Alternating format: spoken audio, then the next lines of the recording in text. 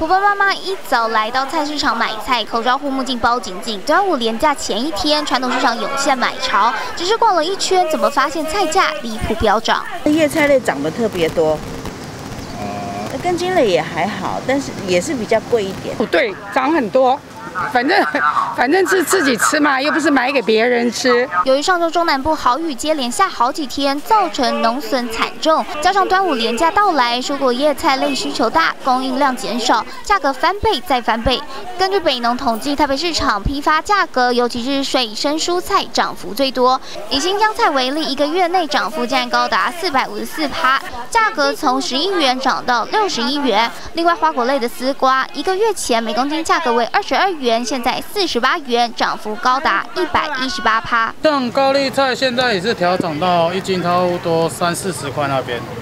啊哈。对啊，所以我说像其他的青菜，可能像秋葵，哦，或者说白菜那些，都会慢慢调整。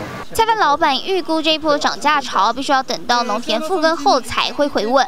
但因为疫情的关系，减少出门，让菜篮族只能无奈咬牙买菜。